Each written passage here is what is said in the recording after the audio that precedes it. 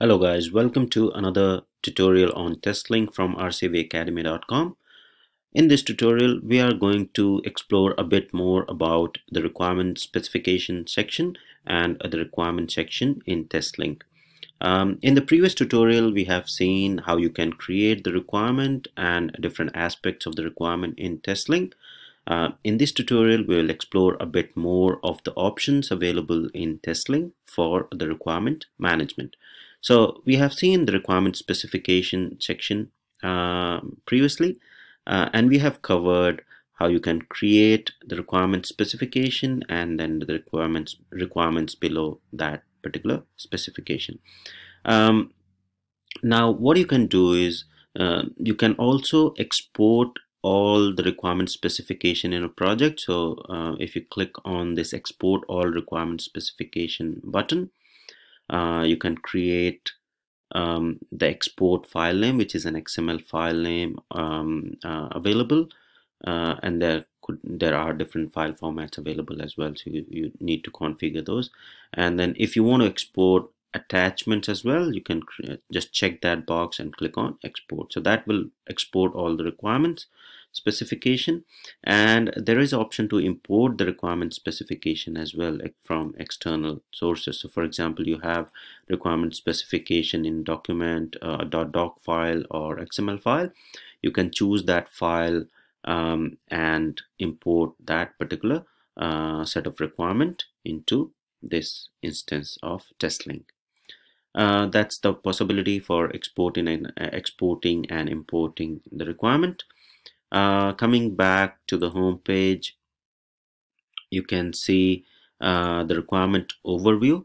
Uh, once you click on the requirement overview, all the requirement uh, specification, so all the requirements for uh, uh, available in this particular project will be listed here, right? So you can see uh, the four requirements are listed below the registration functionality with all the uh, important aspects of the requirement when they were created, when they were modified, whether these requirements are frozen or not, uh, what type of requirement are these and what is the status of these requirements. So this gives a clear picture of what all requirements are available in the project and what is the status of those requirements.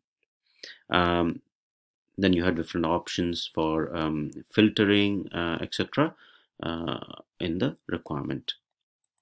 Now going back to the requirement section you can generate requirement specification document. What exactly this does is uh, if you see here uh, if you select uh, show as an HTML you go back to the project um, all the requirement below this project. So at the moment only one requirement folder is there which is required registration functionality. All the details for these requirements will be presented in a document format. So if you see here uh, this is requirement specification document that got created automatically by TestLink. And in the table of contents you can see that requirement um, registration function functionality and all the requirements are being listed below this particular um, uh, below this functionality right in the table of contents.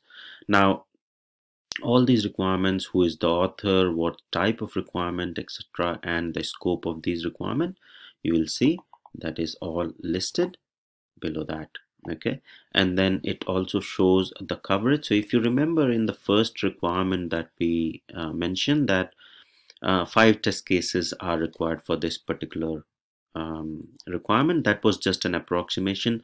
So it shows 0 of 5 as a coverage that there are uh, no test cases as of now for this particular requirement. So this is very good functionality to figure out the traceability of the requirement uh, with the test cases whether that particular requirement has been covered with any of the test cases and whether uh, the number of test cases that were assumed to be documented for that particular requirement whether those many test cases have been documented or not in the others you can see I haven't changed any of the number of test cases so by default it's just taken one and showing the coverage and then below that you can see it's showing the bit of detail so ideals in ideal scenarios there will be a lot of details below all these requirements. So this is pretty nice functionality in TestLink.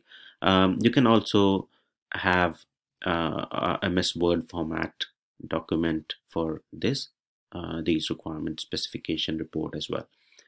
Uh, after that, you'll see that you have the option to search the requirement or search the requirement specification uh, you can you have option to assign the requirement and the requirement monitoring overview so if you click on search requirement it will open the search requirements pane and in the left hand side you can see you can search by the id document id or the version title etc and also the date range. So a lot of options for searching the requirements are available there. Um, uh, going back and then you can search the requirement specification different criteria is available uh, for searching the requirement specification. If you don't provide any of the criteria and just click on find it will search all the uh, requirement specification that are available in the project. So at the moment you can see only one registration functionality requirement specification is returned. Uh, going back uh, you can assign the requirement as well. So for example at the moment um, since there are no test cases in the project you don't see any of the assignment options available. But as we move further in the tutorials we'll create the test cases further and then we, I'll show you how you can assign the requirements to the test cases. Uh, similarly uh, requirement monitoring overview. So here you can see you can monitor the requirement that you are interested in um, or, or high risk requirement you can just click on uh, the little icon here and then you'll start getting notification or you'll start uh, getting uh, it you you will be mostly you know monitoring those requirement um, whichever you feel like uh, are more important in terms of the risk and uh, delivery dates.